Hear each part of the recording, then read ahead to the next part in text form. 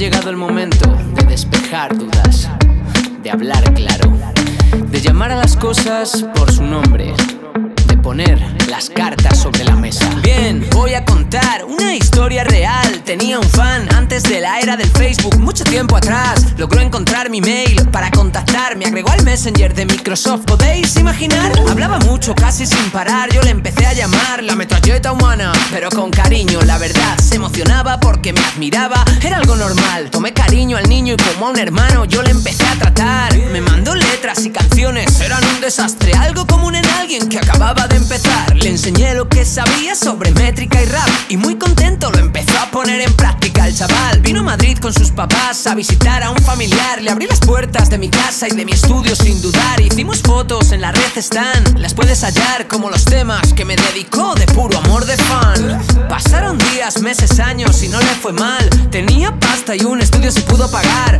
Pegaron un par de sus temas en particular en internet. Se le subió y empezó a cambiar. Yo era un polémico, fiché con Universal. Acaparaba más odios que simpatías en el rap. Y aquel muchacho que me defendía en foros meses atrás negaba que yo fuera su influencia principal. Me mostró sus temas con orgullo, me invitó a opinar. Tienes frescura, el ritmo no está mal. Pensar que todo iban a ser halagos, nada más, más por respeto y amistad. Le dije la verdad. En la temática falta variedad. Vas de agradar al purista y tu letra machista me hace vomitar. No le gustó lo que escuchó y se empezó a alejar. Solo es un niño, pensé, no lo tendré en cuenta, ya madurará. Puedes intentar engañar a los demás. Te podrás mentir incluso a ti, a mí jamás. Yo sé muy bien cómo eres en realidad,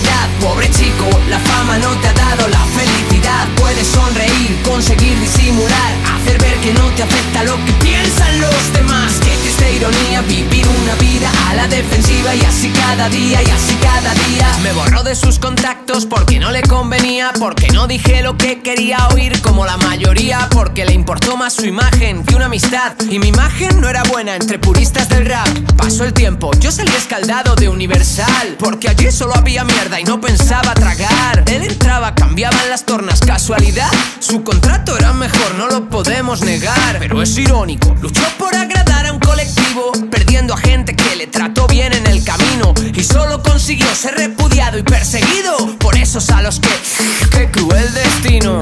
Poco después coincidimos por la red. Él estaba bien jodido, había sufrido algún revés. Tenía éxito, pero el rechazo rapper le quemaba. Y en su forma de actuar y en cada letra se le reflejaba.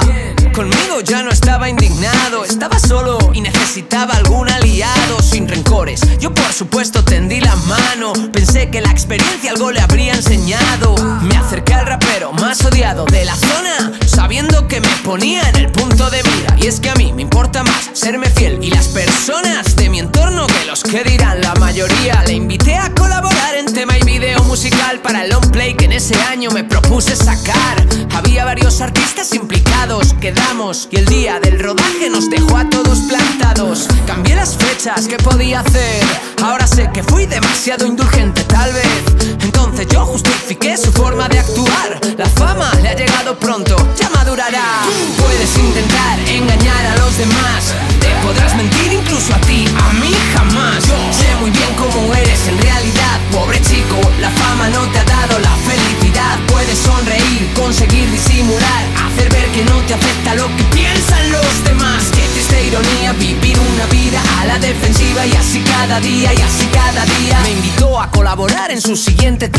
Yo me puse de inmediato a trabajar a destajo, super pro para entregar todo a tiempo sin relajo. Me dejé la piel para hacer una letra del carajo. Me encargué de producir el beat para el beat y otro tema más en el que un estribillo metí.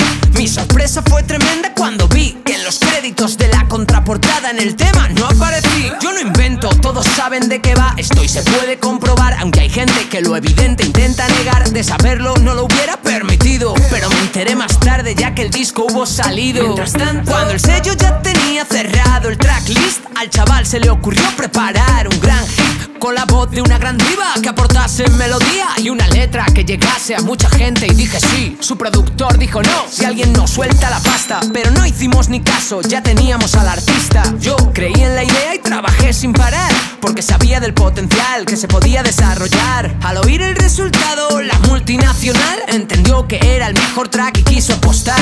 Y el gordo judío que antes no se quiso implicar. Manejó al chaval y me dejaron fuera sin pestañear. Y no solo eso, pues esa hiena de product quiso robarle a la autora derechos de autor es un fraude y no tiene ni idea ni de lo que es un do mayor. Un medio de hip hop me preguntó que de qué conocía aquel rapero y que por qué colaboré con él. Conté la verdad, no me justifiqué, no le negué como Judas, cosa que tiempo atrás me hizo él. Después recibí un correo suyo en tono acusador. ¿A quién coño le importa si antes te admiraba o no? Con el ego desbocado y renegando del pasado, colmó mi paciencia por su entorno mal aconsejado. Vale. A pesar de todo, intenté ser elegante, sucios y tiré para adelante. Me alejé sabiendo que los buitres lo iban a despellejar y no por crío, es que le falta personalidad. Puedes intentar engañar a los demás,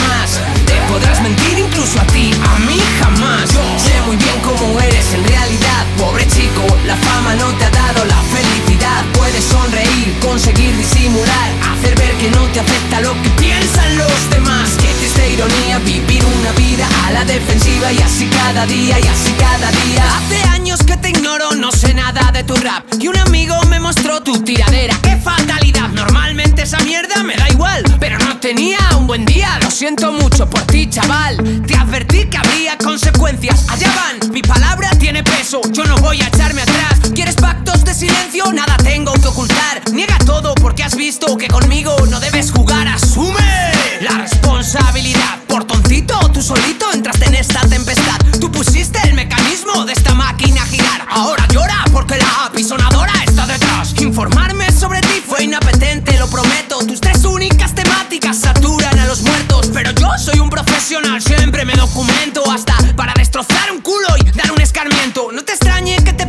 estas cosas en tus letras. Casi siempre estás faltándole el respeto a los demás. Con tu voz repetitiva lanzas negatividad. Lo llaman karma, pero es lógica.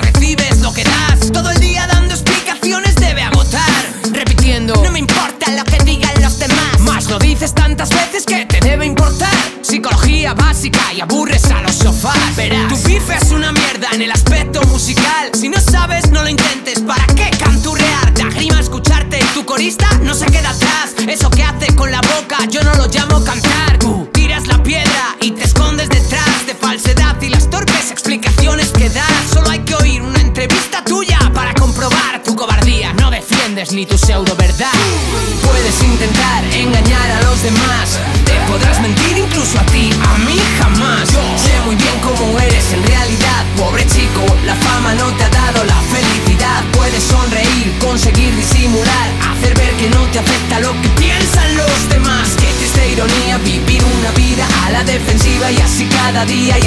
Cada día. Voy, si se baja el pantalón, un vieja escuela tú a chupar. Necesitas de su aceptación aunque te trate mal. Tu productor te tiene atado con correa y bozal. Aunque tu zorra y tú le criticabais bien por detrás. Y es que es tan ruin como te portes con los demás. Me dejaste a deber pasta, te olvidaste, ¿verdad? Y cómo permites que algunos se porten contigo es lo más. Calzonazo, siento lástima al recordar. ¿Cuántas cosas no haces porque tu novia se va a enfadar?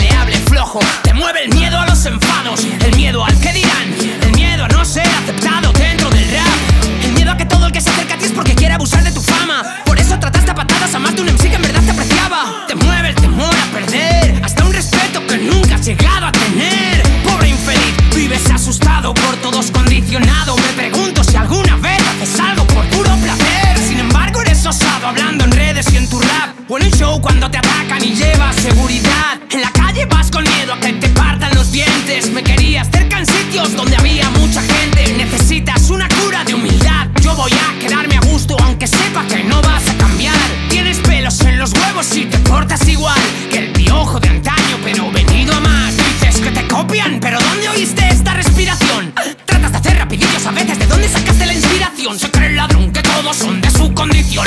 Paranoico, crees que sufres una persecución. Tienes muchos más fans que yo, indiscutiblemente. Es verdad, algo tendrás, además de pasta y suerte, pero no lo sabes apreciar, te centras en los haters y por eso vives amargado. Es tan evidente, tienes fama y tienes pasta y no me cambio por ti. Yo me miro sin complejos al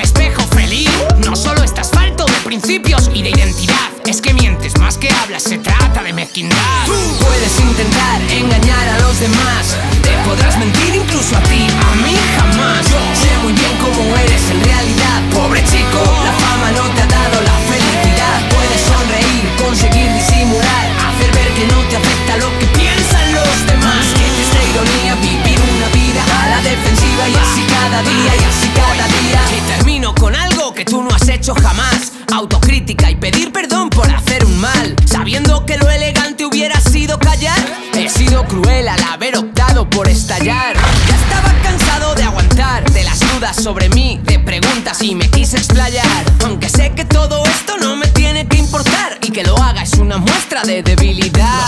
De cualquier modo escribir esta letra fue catártico, aunque sea pesada como cruzar a nado el Atlántico. Y acepto que en este texto hay algo de un yo sádico, e incluso maquiavélico. Sé que el morbo es mediático. No puedo acabar sin disculparme con tus fans porque no saben quién eres y creen que eres especial. Y comprendo que les duela este ataque tan bestial. Lo siento por ellos, no por ti, mereces esto y más.